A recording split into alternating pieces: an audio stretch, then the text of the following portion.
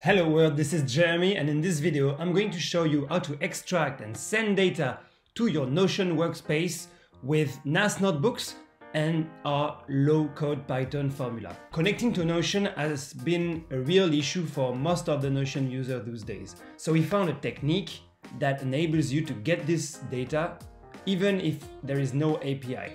Keep watching. Okay, so if you're not familiar with Notion, it's an all-in-one workspace very popular these days. So first off, you need to create yourself an account on Naas. Then you will be able to create a Python notebooks in a matter of seconds. When you have that, go back to the website and check out our drivers. We have a lot of different drivers in low code that we have built to ease scripting and this is the Notion one. Well, if we look at the documentation, what can we see? We have put here the trick we are using to get the data. So follow the flow. First, you need to click right and inspect the page. Then you go to application and then you can access the token v2 right here. This is the key to your Notion workspace. Let's do this.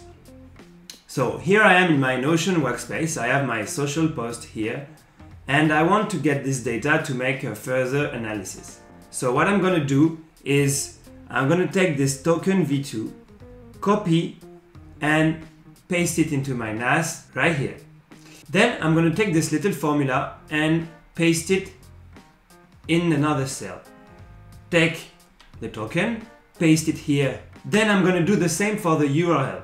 I'm going to take the URL of this page, which is having my data. Then you're done.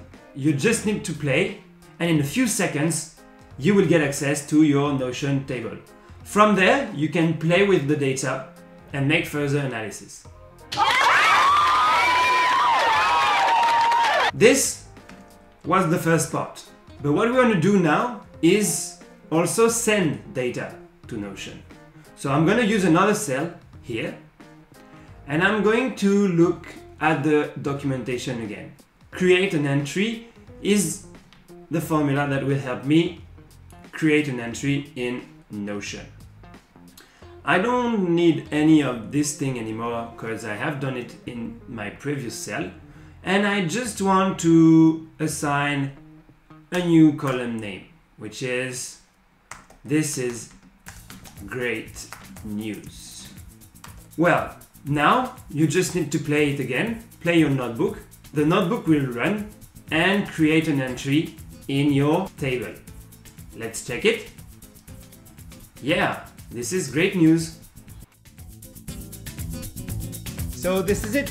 Give us a thumbs up and subscribe if you like the videos. Go down in the comment and give us your feedback if you have any questions.